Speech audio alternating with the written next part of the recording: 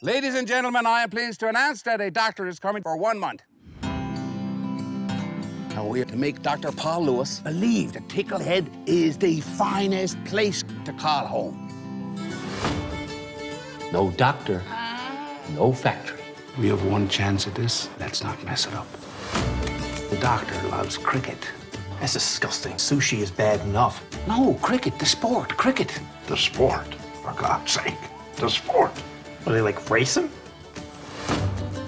Jumping Jesus. What do we do? We have no idea how to play cricket. Both teams won. Let's get back to the boat. All I'm asking is to adopt a flirtatious attitude towards the doctor. No. I will catch one. If I was there, I'd take one of them flat pats and I'd beat the crap at every last one. It's like watching baseball, only longer. Hi. So, uh, I've been drinking. That's exactly what a girl wants to hear when a stranger knocks on her door in the middle of the night. You know, everybody's pitching in. Why don't flirt? Murray, no.